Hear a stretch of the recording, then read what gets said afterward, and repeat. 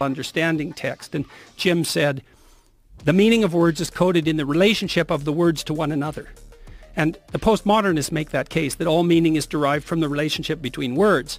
That's wrong because, well, what about rage? That's not words. And what about moving your hand? That's not words. So it's wrong, but, but part of it's right because the meaning we derive from the verbal domain is encoded in the relationship between words. So so now then you think, well, let's think about the relationship between words. Well, some words are dependent on other words. Some ideas are dependent on other ideas. The more ideas are dependent on a given idea, the more fundamental that idea is. By that's a definition of fundamental. So now imagine you have an aggregation of texts in a civilization. You say, which are the fundamental texts? And the answer is the texts upon which most other texts depend.